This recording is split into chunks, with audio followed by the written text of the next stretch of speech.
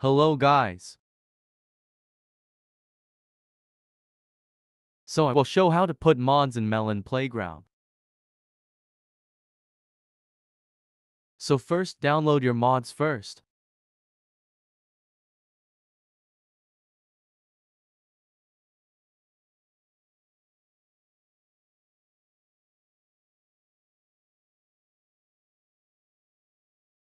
Now go to Zarchiver.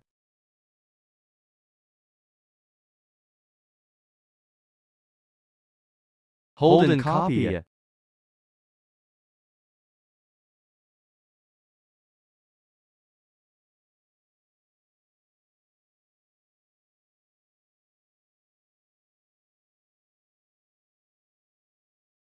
Go to Android and go to Data.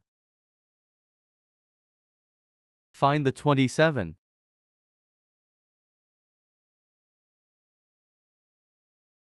Go to Files and go to Mods. So paste it.